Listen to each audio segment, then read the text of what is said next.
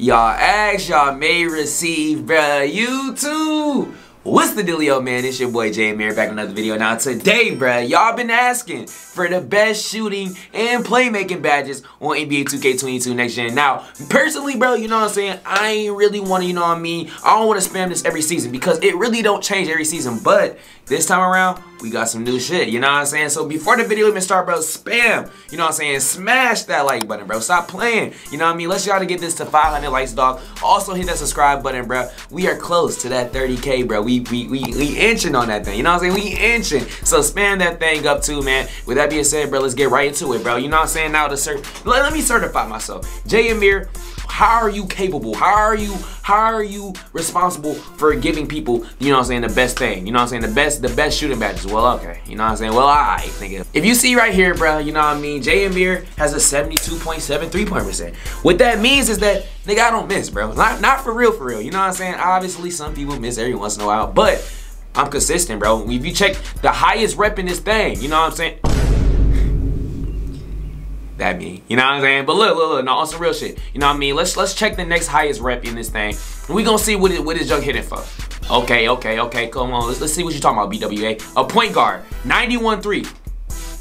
61. You know what I'm saying? You see the difference, bro? That's a 10%. Yeah. So what I'm saying is that I got the best shooting badges. Now, the thing about this, y'all, is that everybody has a different build. If you guys look at my build, bro, you guys can, you know what I mean? I dropped the build video already. You guys gonna see that I have 51 shooting badges, which a lot of y'all don't. So not, I'm not gonna tell you guys the badge setup, but I will tell you guys the best badges to use, all right? So with that being said, let's get into it, man. Let's go. Gang. So we're gonna start off with the shooting badge, and I'm about to give you guys like a tier list of what's most important to the stuff that you just don't need, all right? So the first thing we're gonna start off is with Hot Zone Hunter. This is the best badge on the game. I'm gonna be having gameplay in the back so you guys can see what I'm talking about, bro. But this is the best badge on the game, bro. You know what I'm saying? What this does is allow you to shoot and get a, you know what I'm saying, percentage boost for anywhere you got a hot zone at. So if you play in my career, you get your hot zones all around the world, you know what I mean? Anywhere you shoot, you get an extra boost, which helps you make your shots, you know what I'm saying? So I feel like this is the first badge you should even put Hall of Fame so you can go crazy, you know what I'm saying? Definitely tier one. And before I, before I continue, I want to make sure, I want to make sure I get this out the way. If you guys can't get this Hall of Fame,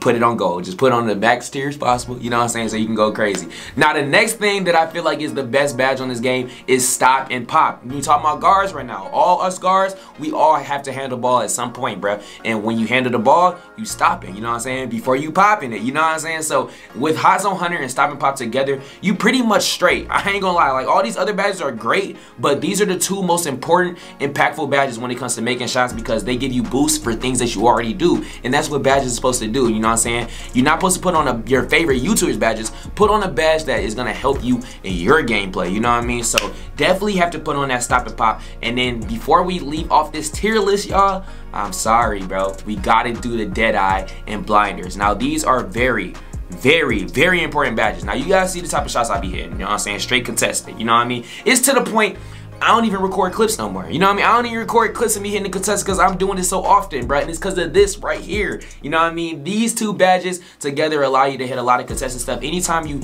get open in a small space and you rise up, if you rose up before he contested you, it's green. You know what I'm saying? That's junk money. So make sure you guys have these four badges on the highest tier as possible before you worry about anything else, bro. All right? Now, the next tier, you know what I mean? I'm going to just leave this all to Sniper, bro, because this kind of of in it's kind of in his league of his own, right? It's, it's one of those things where you don't really need, but you need, you know what I mean? Because I ain't gonna lie, having a 72 three-point percent, I shoot some whites, you know what I mean? And when I do shoot whites, I rely on my boy Sniper to bail me out that day. And some of these whites do turn to greens with Sniper. So I absolutely love this badge, bro. You know what I'm saying? It's a little overpowered, yeah. 2K might need to, uh, you know what I'm saying, tone it down next year. But it's in the game, bro. It's in the game to stay. So what we gonna do with it? we gonna go crazy with it, you know what I'm saying? So that's what I'm using right there. After Sniper, bro, the badge I'm gonna hit next is Corner Specialist and Circus 3s. Now these junks work in conjunction together. Now you guys always ask me how to fade, and I'm gonna make a whole separate video in teaching you uh, strategic, you know what I'm saying, strategic ways and like that, you know what I mean? But I'm gonna tell you guys right now, these two badges together allow you to hit fades at a high, high level, bro. Circus 3 say high difficulty jumpers as a hop, step, step back, and pull up. And when you combine that with corner specialist, bro, it's dang near a standing shot. It's the easiest shot in the game. So I highly recommend that if it's not in your gameplay, you know what I'm saying, and I'm making these videos for the people that watch me. You know what I'm saying? Y'all watch me play, and y'all are all guards, most most most likely. You know what I mean? I hope a center not watching the best guard badge video. I mean, if you are, you know what I'm saying, send it to your guard. You know what I'm saying? I'll rock with you. Some of y'all just want to watch Jay Amiri, and I love you for that. But anyways, when you combine that with corner specialist, bro, it just goes crazy. And I, I highly recommend y'all all learn how to fade, bro. It's gonna it's gonna open your game up so much more because not only are you a threat when you come off the screen for a pop, but if they, you know what I'm saying, they lagging behind, you can pull up like those. You know what I'm saying? So yeah, put that thing on up, and then right after that, I'm gonna have to say difficult shots. Now this is really this is really for people that are like taking mid ranges, bro. I just put that on for a video. Actually, usually I have this on limitless spot up, which I'm gonna get into right now, which is chef and limitless spot up. A lot of y'all wonder how I, I shoot from deep. It's, it's crazy because it's like, y'all wonder how I shoot from deep. Now I tell y'all, I use Chef and Limitless Spot Up and then y'all be like, it don't work. Nigga, it work, bro. You know what I'm saying? You making me mad, bro. I literally use this badge, and what it does is it allows me to, as soon as I cross half court, not even half court, if I get to that half court line and I'm open, I'm taking that thing, bro, with no no conscience to it because I feel confident in these badges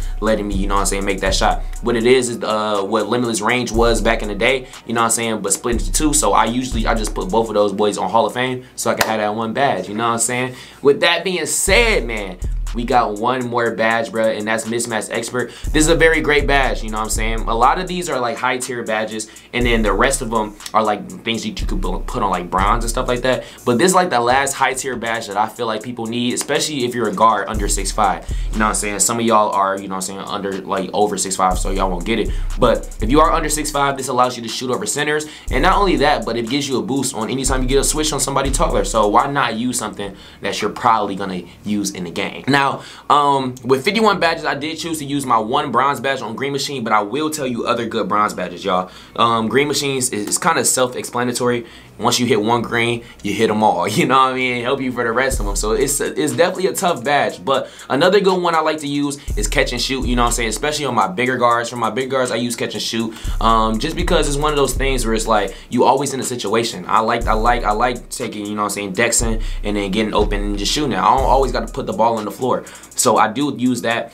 But then again, I ain't gonna lie, back to the, you know what I'm saying, the first top tier badge, Hot Zone Hunter allows you to do that because if you're in a spot and you catch it in, in that spot, you getting a boost for it. So I just want to throw that in there. Clutch shooter's also a good one, bro. You know what I'm saying? So a lot of times, niggas 1919, hands get a little sweaty. Understandable. Happens to me too. Clutch shooter allows you to bail, bail you out sometimes. In the last badge I can probably vouch for, you know what I'm saying? I'm gonna make a whole separate video on this. Is Lucky 7, you know what I'm saying? I, it's, it's kind of, it, what's the word? It's kind of gimmicky, you know what I'm saying? It's kind of gimmicky because you're probably not gonna score in the first seven seconds every single possession, but to on bronze is cool, you know what I'm saying? The rest of these, trash, you know what I'm saying? Set shooter, you shouldn't be holding the ball for that long slippery off ball. Who the hell do you think you are to be using his right stick to be doing that? Volume shooter, you don't take enough shots in, in a park game to even use this. Fade ace, that's for my big man, you know what I'm saying? Rhythm shooter is broken. They need to work on that. And with that being said, that's all the shooting badges. You know what I'm saying? I told you guys the best ones, top tier. Y'all boys make sure that y'all put the ones in the highest tier to the highest degree of, you know what I'm saying,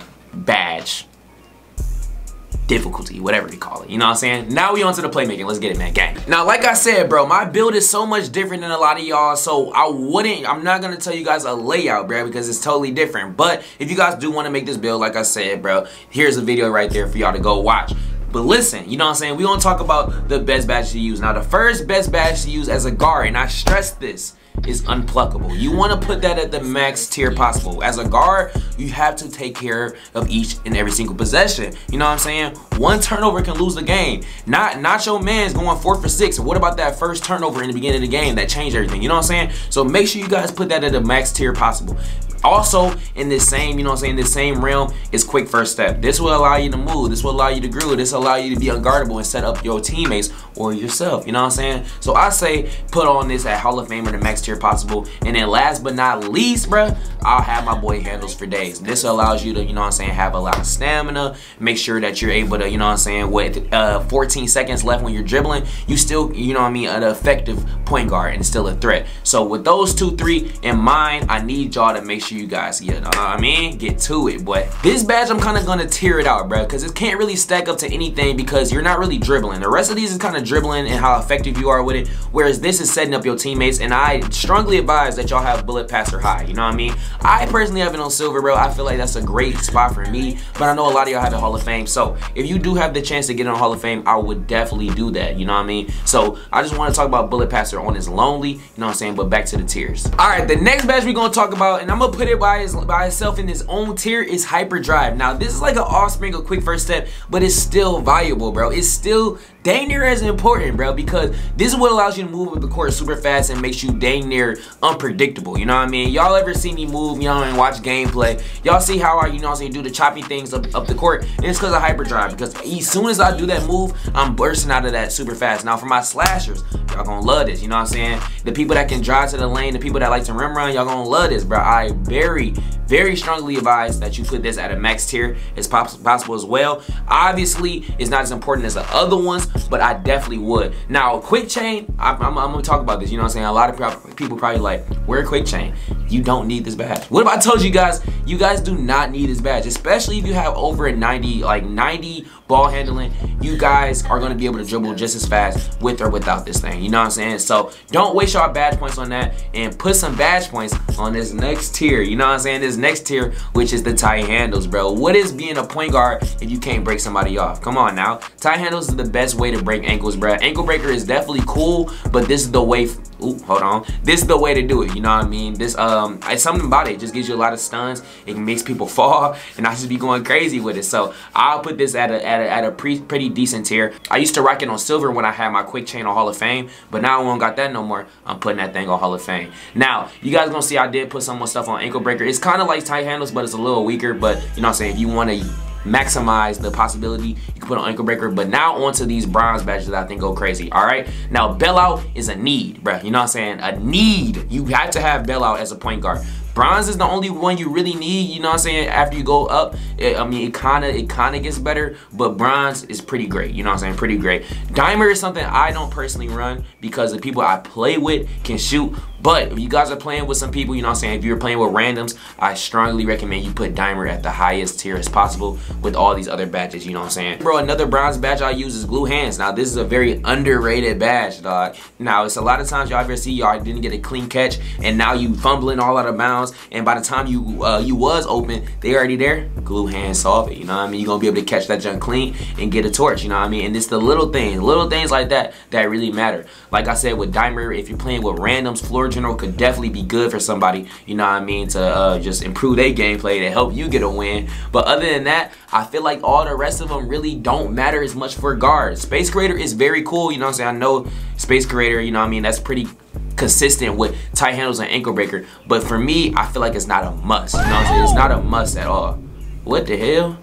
Alright, we back. Nigga, I got a little scared, but one of y'all little niggas act me. Nah, but uh, alright, so back to the uh, playmaking. Like I was saying, bro, glue hands is cool, uh, but the rest of them, bro, they don't really matter too much. Downhill's kind of irrelevant. Break starters for the centers, you know what I'm saying? But with that being said, let's finish the video off before a nigga get, you know what I'm saying, scared again.